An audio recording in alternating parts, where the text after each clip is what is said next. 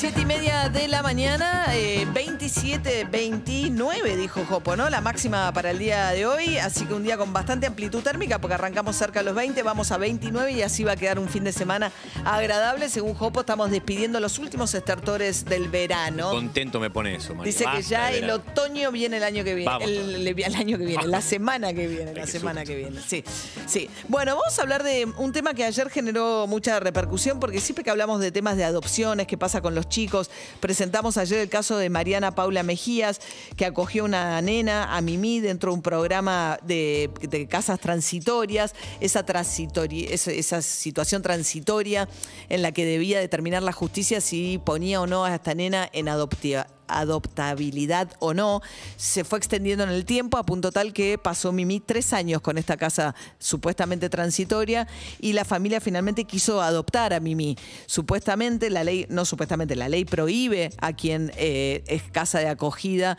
eh, presentarse como candidatos a la adopción de los chicos que aceptan de entrada tener transitoriamente, pero Paula nos decía, bueno, ya es parte de nuestra familia, son tres años, se supone que este es un proceso que tiene que durar seis meses. Bueno, y ayer además hubo otra noticia también muy eh, dura que tiene que ver con dos nenas de dos y cuatro años cuyos padres las dejaron abandonadas en Liniers, dijeron que no las podían mantener y hay muchos casos, según eh, algunas ONGs, que muchos, más de 100 casos anuales de chicos que eh, quedan en esta situación. Vamos a charlar con Juan Pablo Cafiero porque tiene un cargo bastante particular. Él es abogado y coordinador del área de Defensoría del Niño en San Isidro. Es también el papá de Santiago Cafiero, pero es un dirigente político con una enorme trayectoria. ¿Qué tal, Juan Pablo? Buen día. ¿Qué tal María? Buen día, gracias por llamar. Bueno, todos estos temas siempre generan como mucho debate y mucha confusión, ¿no? Este, su- a ver, partiendo del hecho de que hay muchas más familias queriendo adoptar que niños en situación de ser adoptados, ¿no? En la Argentina. Sí, hay, en realidad hay, hay, esta- hay muchos datos sobre, este, sobre esta situación. De entrada, te digo, es un tema bastante delicado porque emplazar a alguien a la condición de, familia de un, de un chico, uno dice siempre, bueno, ¿qué pasa? Esta señora que te llamó al programa ayer y que decía, yo estuve tres años con este chiquito, no, no sé exactamente los detalles. del Una caso. nena, sí. Una nena. Bueno, eh, ¿qué, qué prevé la adopción? La adopción en favor de quién es, del adulto o del niño. Obviamente la respuesta es del niño. Las adopciones están pensadas como, como una forma de remediar eh, la, situación en la que el, chico ha quedado lesionado, ya sea por abandono, como te llamaban también, te decían hay chicos abandonados en tal estación de tren, o para, para eh, eh, o sea, tiene un efecto también, digamos, eh, terapéutico, de, sanación con respecto a los chicos. Por eso la- las leyes actuales de, adopción en, todos lados, y pues en cada provincia, lo que procuran es eso, es que lo que prevalezca siempre ante cualquier situación de duda es el interés superior del niño. Es decir, Sí, no eh, hay un voy derecho a- a ser padre, sino hay un derecho a esos niños a, cre- a crecer en familia. Igual, en- exactamente. En el caso particular de Mariana, lo que ella decía es que la nena tiene un derecho, porque ya los adoptó como familia. Pero bueno, más allá de ese caso particular. Pero sí, pero tiene toda la razón del mundo porque si han pasado tres años Claro. y ella ha generado un vínculo, un lazo, era, la familia hoy se define, la familia ampliada es por los niveles de los lazos afectivos que, que desarrollan. No solamente está la familia nuclear, la familia de, sangre, sino que hay una familia de amistades, de tíos, de lazos, de y bueno, y las familias de acogida son eh, también son esas formas alternativas que se dieron en, eh, en muchos lugares y que acá vinieron más o menos en la década del 80, es una idea que venía de Bélgica, que trajo un, gran amigo mío que es Luis Nicora eh, y, y su mujer, que la, la llevaron adelante, hoy es la Fundación Emanuel, pero hay otras alternativas otras alternativas a la institucionalización. ¿Qué se trata de evitar? Que los chicos estén institucionalizados y por el breve, eh, por el, por el tiempo más breve posible, Claro, o en una familia acogida, o en una familia sustituta. que no vayan a orfanatos, digamos. eh, sea, que no haya, no hay, eh, que no vayan a las instituciones, que vayan el menor tiempo posible. Y si no queda otra que ir a una institución, que es una cosa que nosotros vemos que, que sucede, eh, porque porque para que todo lo otro funcione vos lo tenés que tener financiado, tenés que tener un sistema de becas, tenés que tener un sistema que, ayude a estas instituciones. El Estado tiene que, está obligado a ayudar a estas, a, brindar estas eh, herramientas alternativas a la institucionalización. Entonces el chico que ha sido abandonado, abandonado cuyos derechos han sido, se encuentran vulnerados, que no puede, no lo pueden llevar al, su centro de vida, a su, vida familiar anterior, porque hay episodios de violencia, de adicciones en la casa, que se están tratando por otras vías, ese, esa, esa criatura, bueno, eh, hay que transitoriamente, temporalmente, por un tiempo limitado, separarla. Cuando ese tiempo se, se prolonga más allá de lo debido, aunque la ley puede decir tres meses, seis meses, a veces se demoran años, años y años, y se generaron lazos afectivos ahí, por eso la propia ley reconoce los referentes afectivos, como un poco la, familia que, va a sustituir e, ese vínculo de sangre.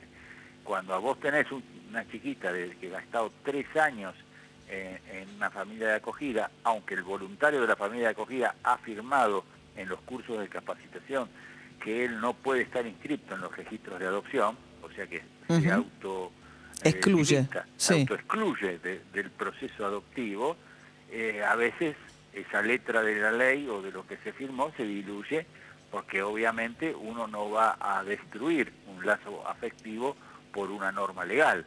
Eso es donde a veces los jueces se ven en una encrucijada bastante difícil de resolver. Por eso se valen en general los, juzgados de familia en todo el país tienen sus equipos técnicos que son eh, muy buenos, la psicóloga, la trabajadora social, eh, eh, el, médico, que son los que le van a terminar indicando al juez qué es lo mejor, qué, es lo que ellos, la hipótesis de ellos, de cuál es la mejor solución, dónde está el interés superior de ese chico. Hay que ver a qué edad sucedió también esto, ¿no? Tiene tres años la nena. Estamos hablando con Juan Pablo Cafiero, que es eh, trabaja en el área de Defensoría del Niño en San Isidro. Eh, en Pilar específicamente. ¿En Pilar? Sí, sí. Ah, ¿y por qué digo? Ah, eh, No, porque está bien, porque forma parte del Departamento Judicial de San Isidro. Ah, ok. Es una, un área del Departamento Judicial es una es un área del eh, Colegio de Abogados de San Isidro, ah, que el Colegio de Abogados de San Isidro es uno de los colegios que más ha trabajado el tema de la Defensoría del Niño. Tiene 25 años la Defensoría del Niño. Ahora, hay algo ahí, eh, Juan Pablo, perdón, ¿no? que funciona muy mal, ¿no? Porque sabemos que hay, o sea, yo entiendo que la ley piensa, y, me parece bien, digamos, en los derechos del niño. No hay un derecho a ser padres, ¿no? Entonces vos decís, bueno, pero en Argentina tenés mucho más padres y, eh, inscriptos en los registros queriendo adoptar chicos que chicos en situación de ser adoptados. Y sin embargo tenés un montón de chicos que pasan años y años sin ser adoptados porque, lo, porque la justicia se demora. No, no, pero no solamente la justicia. Muchas veces los padres se, se inscriben en determinada etapa de la vida. O una persona sola, no hace falta ser una pareja. Este, la, ley no, te obliga a poder estar solo y, tener la, voluntad de prohijar una niña o un niño. Eh, y, bueno, a veces eh, eh, depende, te anotaste en una etapa de, tu pareja, pasaron dos años, no fuiste convocado y ya perdiste el interés, o solo tenés interés en, chiquitos de, muy corta edad. Sí, eso Lo que tenés son por ahí, es muchos chicos de edad más avanzadas que sí, como es mucho más difícil establecer un vínculo, ya necesitas una suerte de, digamos, una persona muy bien plantada, dispuesta. Después muchos de estos temas están cruzados por la discapacidad eh, o por eh, un problema de distinta naturaleza, de salud mental de los chicos. Entonces hay que eh, encontrar también a, la pareja que, busca. Si uno ingresa a la página de la Corte de la provincia, eh, va a encontrar la cantidad de convocatorias públicas que hay a padres que no están ni siquiera anotados en, los registros, pero que pueden hacer el trámite porque ahí están las, las propuestas para que ellos se vayan al, mm. jugado San Isidro, de Murón, de San Martín, de Bahía Blanca, el jugado que quieran. Hay también un tema con hermanos, ¿no? En muchos casos los chicos no se quieren separar de sus hermanos. Tienen derecho, es así. La ley dice específicamente que no hay que separar a los hermanos, pero a veces ha sucedido. A mí me ha pasado, en, a mí me ha pasado esa situación y no pude unificar a los hermanos y bueno, Este, llegué a la Corte Nacional con el caso y me pusieron, como le pasó a muchos que se está escuchando estos días, ese famoso 280, no me trataron un caso de arbitrariedad. Se habían separado dos hermanitos, fue, fue desgarrador. Este, fue una, gran injusticia.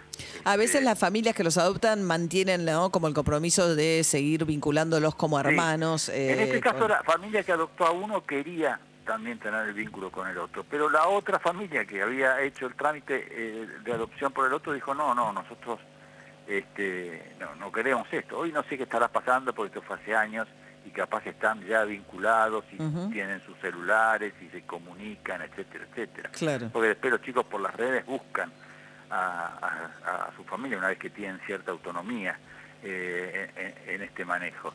Pero no, la ley prevé especialmente Incluso eh, el, lema de los familiares, de las familias sustitutas o acogida es buscar una familia para cada chico. Pero cada, cada chico significa que si son dos, tres hermanos, bueno, esa familia se hace cargo de esa cantidad de hermanos. Claro, claro. Bien, Juan Pablo Cafiero, abogado y coordinador, subcoordinador del área de defensoría del niño en Pilar. Gracias, ¿eh? Adiós. Hasta luego, un beso.